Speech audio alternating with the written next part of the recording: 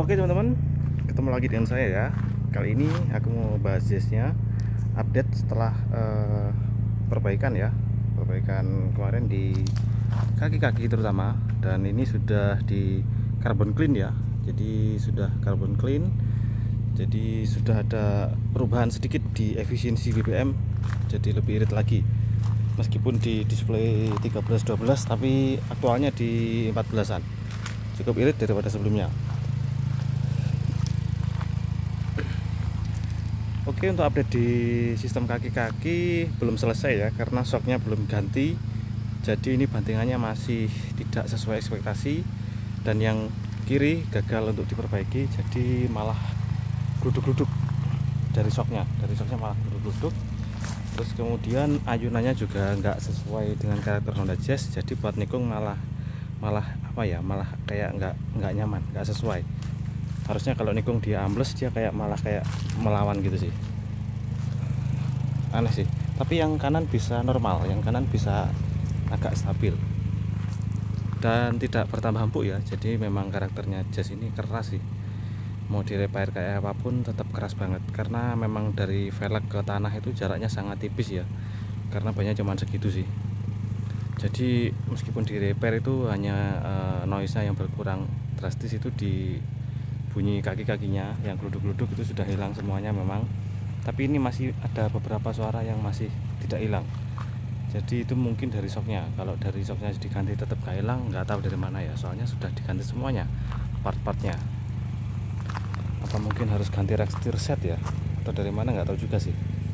Soalnya ini sudah diganti linknya tie rodnya juga.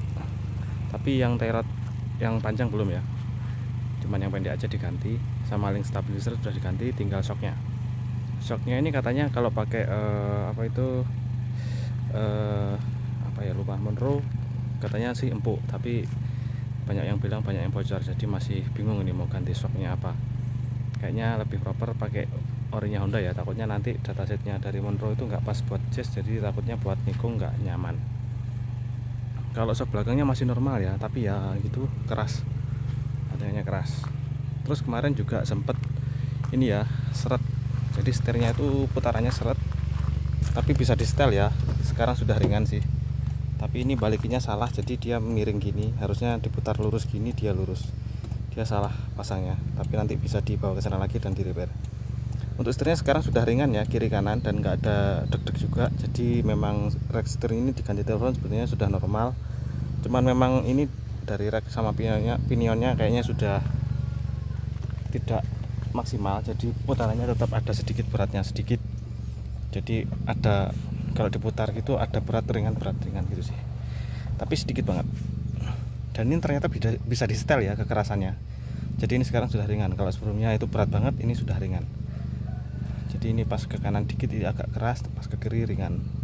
Itu karena bentuk pinionya sudah enggak bagus lagi.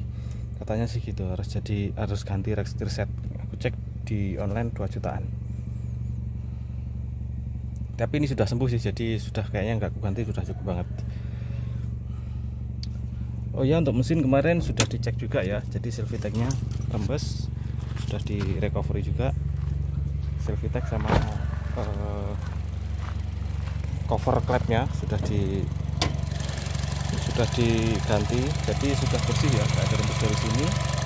Sama di sini kayaknya sudah menurun rembesnya tapi ini masih ada sedikit rembes itu di cover plate yang sebelah dalam sini.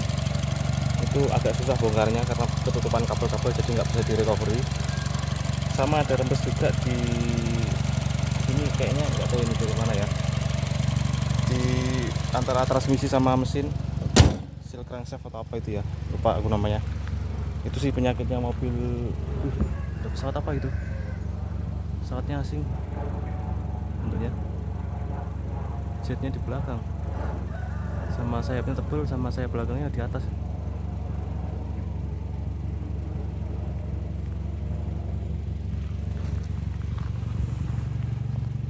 Sampai mana tadi?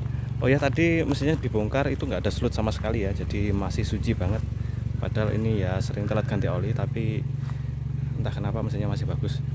Oh ya ini pernah sekali repair di coilnya ya karena sering kucuci mesin pakai mesin steam ya ternyata coilnya jadi rusak karetnya. Jadi ada sedikit suara mesin yang aneh. Sebelum direpair ada suara kayak tik-tik sama kayak ngobos gitu sih. Ini sekarang sudah normal banget padahal kilometernya sudah 340.000 km untuk larinya kurang lebih lebih responsif ya. Jadi lebih enakan memang daripada sebelumnya. Ya beginilah Honda Jazz eman kalau dijual karena modelnya bagus dan cari yang bener-bener bagus itu susah sekarang. Meskipun harganya naik tetap kukip aja wis.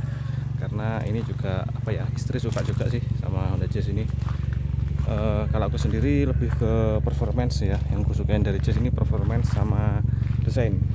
Selain itu reputasinya juga bagus dan termasuk reliable juga untungnya. Jadi ya kepertahanin aja.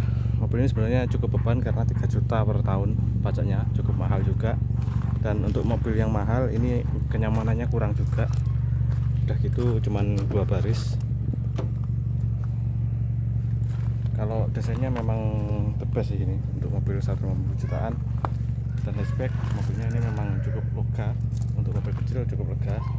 Tapi kalau sama Livina ya tetap kalah. Tapi untuk model ini memang juara satu sih. Good looking sama performance tiptroniknya juga jos sih nggak ada obat. Kalau suspensi memang ini mobil nggak ada obat sih kerasnya keras banget memang. Tapi kalau di jalan yang halus gitu sih ini lebih empuk dari Livina. Cuman faktanya di Indonesia itu nggak ada jalan yang benar-benar halus jadi ya tetap kalah sama Livina ya. Di pas ke mana-mana pasti lebih nyaman Livina jatuhnya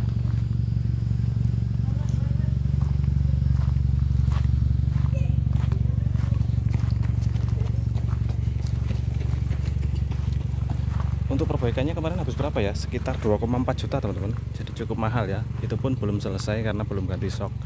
Kalau ganti soknya itu ya mungkin bisa di satu setengah juta ya soknya harga soknya yang baru ataupun yang kayak merek-merek yang aftermarket gitu. Ini masih bingung juga sih harus ganti pakai sok apa biar agak empukan dikit. Karena terlalu keras sih. Kerasnya itu keras yang kurang nyaman. Lagian nggak pernah juga nikung tajam banget. Jadi sebenarnya pengen nyari yang cuma nggak dapat dapat untuk lampunya masih terang ya ini biratnya udah berapa tahun ya? Dua tahun lebih kayaknya. Dan ini sudah dinanepun satu kali doang dari lama banget hampir tiga tahun kayaknya. Masih bagus banget. Mesinnya juga masih halus banget ya AC nya juga masih dingin. Jadi mobil ini sebenarnya cukup bandel ya untuk 340.000 km masih bandel banget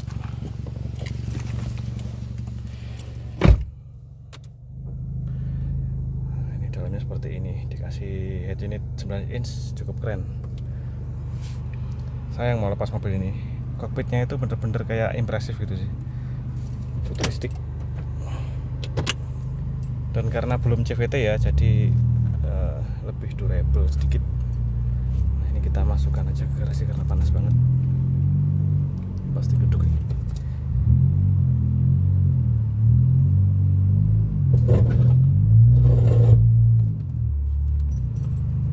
knalpotnya kena.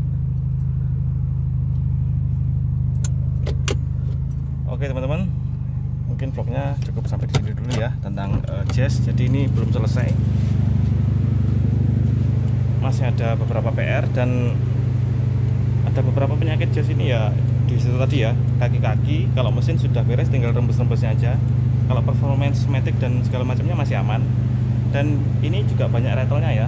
Rattle-nya cukup banyak dari door trim terutama. Ini juga ada rattle nih belum belum ketemu ini. Kayak bunyi. Tapi bisa sih diganjel-ganjel gitu sih. Apalagi ya minusnya ya. Ini cuma rattle-rattle itu aja sih. Kalau ini belum pernah ganti ya masih ori kemarin sempat trouble cuman di cleaning doang normal lagi. Kalau kaca seret dikasih silikon oil sudah normal lagi sih. Ini belum remat belum remat ya jadi masih orinya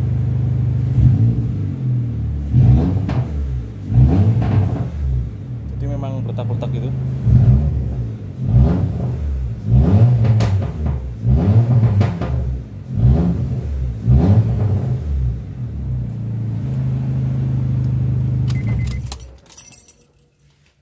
Untuk knalpotnya cukup oke okay, jadi nggak aku ganti sama sekali karena sudah enak banget.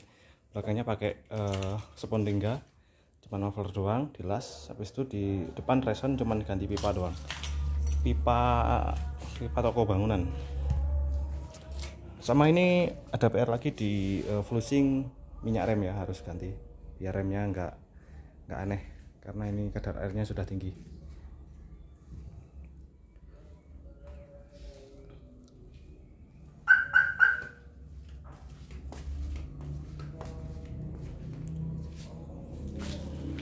Ini salah satu mobil dengan kilometer tertinggi ya jazznya dan termasuk masih bandel sih